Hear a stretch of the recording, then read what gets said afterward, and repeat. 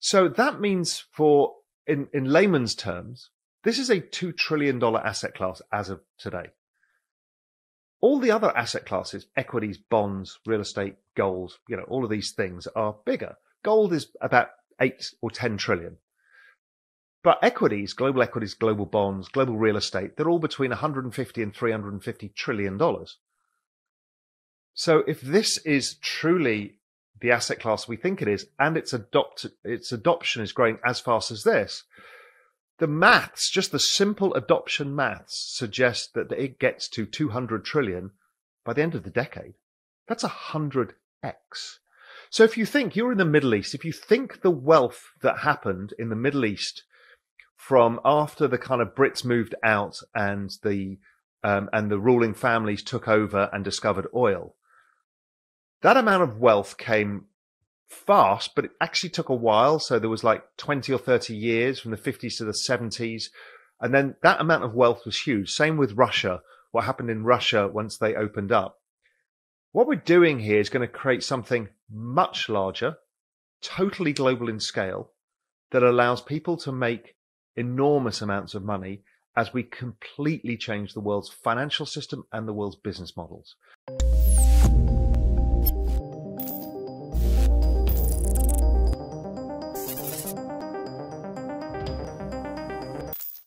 The crypto market sentiment went into extreme fear again after Bitcoin and Ethereum lost price support over the past few hours. On chain data shows an increasing selling pressure, which could lead to more significant losses. Hello and welcome to Money Talks. In today's video, Real Vision CEO and macro investor Raoul Pal updates about the technological adoption of cryptocurrencies, Bitcoin versus gold comparisons, and regulation aspect of Bitcoin, Ethereum, and other cryptos. Raoul Pal also gives his perspective on recent volatility in the Bitcoin space and how it will improve over time. Make sure to stick around till the end of this video where Raoul Pal predicts why he believes the entire crypto space will go to $200 trillion by the end of this decade. So, without wasting any time, let's dive right into the video. We've had some big changes of these gigantic networks in our lives that are, are very new. It's driven by computational power. So first computational power and silicon chips, they all kind of take off slowly and then they start going crazy, like the adoption of home computers. But that took like 20 years.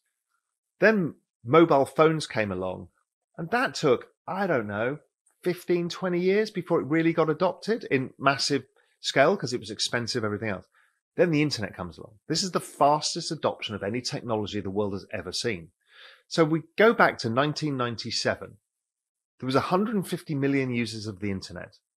And that network of people was growing at 63% a year. The world had never seen anything adopted this fast. Wind forward to today, there's 150 million users of cryptocurrencies. That network is growing at 113% a year. It's twice the speed of the internet. We have never had a technological adoption like this in all human history. So what does this mean? I'm going to break. What does this mean for people, right? Yeah. What it means is networks are valued in a different way to other things. They're valued by what's known as Metcalfe's law. Metcalfe's law states the value of a network is basically the number of people on the network, users, in this case, cryptocurrency owners, and then the number of interconnections, applications, and other stuff. So if you think about, you know, my phone, right? When we first got a mobile phone, I could call you. Now it's a computer, right? The number of applications and everything else. So the value of all those mobile phone networks added together, plus Apple and everything else is like mind blowingly big. So the value of crypto is really interesting because this is a network of money. We've seen these network models before, like Facebook. So Facebook is a big network. It's valued according to Metcalfe's law. But the difference with Facebook is we as users only get the benefit of the likes and the comments and connecting with our friends and family or, or using it for business. And Facebook shareholders made all the money. When you create a network of money, the more people come onto the network, everybody who comes onto the network owns a token. And the value of the token goes up the more people go into the network. So it's like ultra powerful. It's like behavioral economics 101 is give humans a network of money. They're going to make it go up in value and they're going to adopt it very fast. It's been a horror few weeks for cryptocurrency enthusiasts, but the worst is yet to come, according to market analysts. One blockchain expert has warned that the world's top ranked cryptocurrency, Bitcoin, is set to drop down to just $8,000 in value. As dire as that price is, that's actually 1.5% improvement from the day before, indicating just how much strife the crypto market is in. Cryptocurrency has been stuck in a rut for most of 2022, but it plunged to new lows for the year last week after a stablecoin plummeted by 98% in the space of just 24 hours, something which should have been impossible. The cryptocurrency community was left reeling when Terra, UST, previously among the top 10 most valuable cryptocurrencies in the world, slumped below $1 earlier this month. The impact has been instant. Skittish investors have pulled out and it's left the entire cryptocurrency space in distress, with Bitcoin and Ethereum briefly reaching levels that hadn't been seen since June last year. Now, Guggenheim Investments Chief Investment Officer Scott Minerd warned yesterday Bitcoin could continue its descent to the bottom and could fall as low as $8,000. Were that to happen, it would mean the blockchain would shed around 70% of its current value. So, in a world of fiat currency, inflation can happen or debasement of currency or other things. And, and gold became the kind of global currency. And the whole system was pegged on gold for um, hundreds of years, and gold has been used for several thousand years as a system of money. So I could pay you gold and buy a car from you. It's not that complicated to do, but it's doable. But it's a pretty clunky. Bitcoin comes along and it basically does this, but via technology. So you now can't increase the amount of mining because you've suddenly found a new mine in Papua New Guinea. There's like, it's a fixed number produced by mathematics that is impossible to change. So you know exactly the supply and you know exactly the, the stock. So now you've created something with scarcity. And because it's digital, it can never be destroyed because it's on the blockchain. The blockchain is basically a system of record. Normally, if we record something, if I sell you something, there's a ledger that says, I bought, you sold. But blockchain goes, I bought, you sold, and all of these people will confirm it. So that cannot be changed. So we don't go to court over it. It's just proven on the blockchain. So that solves gold in a way that was more useful for the current age because we've now got the internet. You know, we've all bought and sold gold and it's a pain and you don't physically own it. And if you do, where do you store it in your house? And it's clunky and it's big and it's not easy to make a payment for a coffee or a car. I mean, I, I can do it, but it's not easy because we have to agree on the price of gold, all of this stuff. The internet connects everybody around the world. Everybody's got a mobile phone. We need money and a store of value that operates in that system. Global. And along comes Bitcoin and solves that.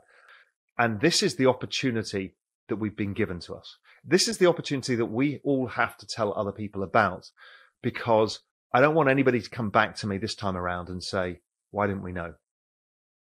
This is the opportunity. And what's really unique about it you can be a construction worker from India living in Dubai and put in a few dirham a month. Or you can be a rich dude and put in whatever, but you can both put in 5% of your earnings every month. And it, it's, it doesn't, it stops the rich poor divide because this stuff gets fractionalized. So Bitcoin, oh my God, it's $66,000. No, you can buy a small fraction. So everybody can buy the right percentage for them. As investors await the Fed minutes, the crypto market is seeing relatively muted trade. Although analysts do not foresee any overly optimistic outcome from the release given the language that has been adopted recently by the Fed, as the FOMC makes key decisions about interest rates and growth of the United States money supply, these meeting minutes will be pivotal for Bitcoin's price in the short term, if the Fed hints dovishness for the first time in a long while by mentioning no 75 basis point hikes or a pause in tightening on return to neutral rates, this would be bullish and could lead to a rally in the next one to two weeks for Bitcoin. And to get people across the line on this, just to interrupt, sorry, is you and I are talking right now.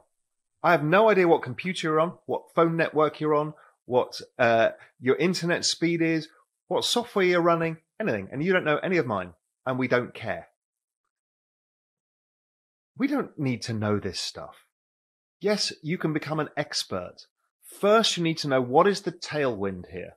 What is driving this asset, this asset class higher? And once you think about that, you can think about, okay, I don't need to be the expert. I, it's all new. That's okay. I'm going to learn on the journey. So, firstly, just choose one of the big reputable exchanges, particularly one that's regulated somewhere, um, because that's going to give you a further comfort. So, you know, there's stuff like Coinbase or Kraken. There's a bunch of these that are big, globalized opportunities. Binance is somewhat different because it's it's kind of regulated in some countries, not in others. Everything else, so you choose the risk level you want. Binance is amazing because of all the products you can trade but just simply you choose one of the really big exchanges. Um, and then from that, once you've decided that, then you can start thinking about it. How I did it very simply, and I suggest everybody does it, is don't go diving off the end of some token that somebody randomly t- told you about in a bar. Go about it intelligently and say, okay, the two big exposures here are Bitcoin and Ethereum. Let me just weight my portfolio by their market cap weighting.